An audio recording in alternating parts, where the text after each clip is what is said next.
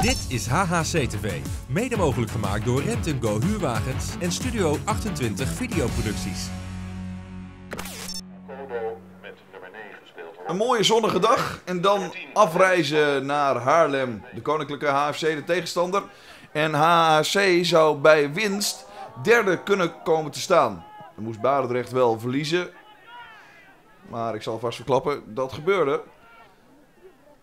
Met 1-5. En hier de eerste kans en de eerste goal in de wedstrijd van Rens van Bentum. Goed uitgespeeld. Rob van der Lijn, niet zelfzuchtig. Legt hem lekker af. Ook een lekker balletje dit trouwens hoor. Prachtig steekpaasje. En Rob van der Leij ziet dan dat Van Bentum er net iets mooier voor staat. En die legt hem af en het is 0-1. En dus HC virtueel derde op dit moment. Dit is Schmid. Legt hem opnieuw voor. En opnieuw is het raak. Rent van Bentum. Vrij snel daarna. Komt de HC dus op een 0-2 voorsprong. Knappe goal trouwens. Echt een spitsgoal. Van Van Bentum. Opnieuw HC. Balletje moet naar Van der Leij. Balletje gaat naar Van der Leij. En Van der Leij moet scoren. Wacht te lang. En dan is het net geen goal. Ik denk als hij hem in één keer op de slof had genomen dat het raak was geweest. Maar Rob van der Leij had misschien net iets te veel tijd om na te denken. Dat zien ook deze supporters. Meegereisd naar Haarlem. Oh, dit is een cadeautje. En Van der Leij pakt het cadeautje niet uit. Dat is jammer. Daar zit hij, Ted Verdonkschot. Volgend jaar de trainer van IJsselmeervogels. En hier de goede redding van Nijland.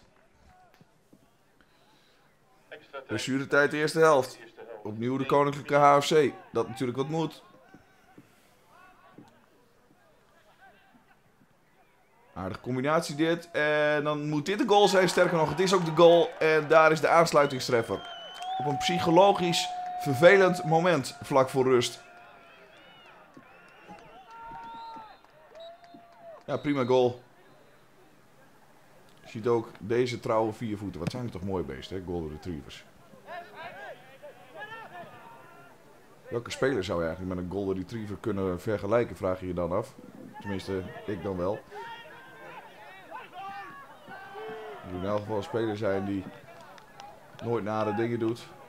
Altijd trouw is aan het team. Iets te lief misschien soms. Nou, wie zou het dan moeten zijn? Goeie vraag. Nou goed, los daarvan eh, de tweede helft. Aardige voorzet dit. Hemmink. Nou, misschien is Hemmink het wel. Hij ramt hem erin. 1-3. Prachtige goal.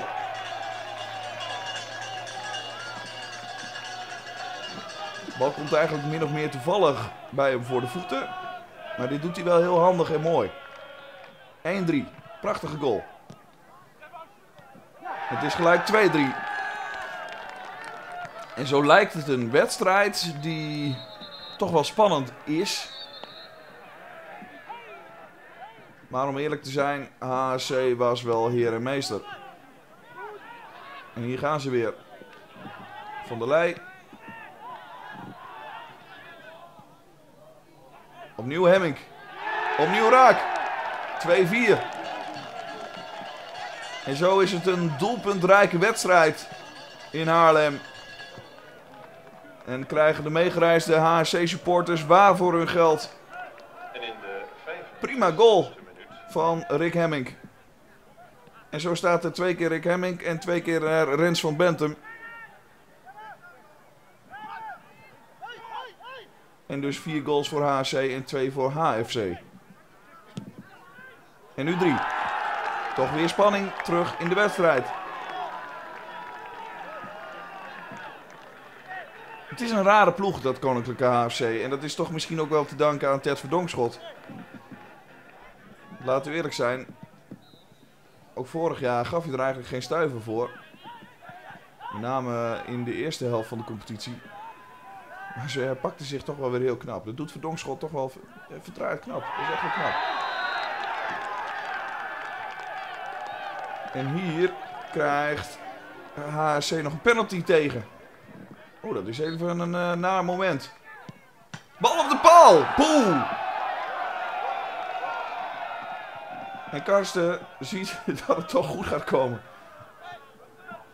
Dit had natuurlijk anders af kunnen lopen, maar als AC dwing je ook wat af. Bijvoorbeeld als Ramon Nijland tussen de palen staat en hem er even tussen weg eh, bokst. Nee, knappe overwinning van HC. Ziet ook Bert Nijboer en Verdonkschot. HC staat derde. HHC TV is mede mogelijk gemaakt door Rent Go Huurwagens en Studio 28 Videoproducties.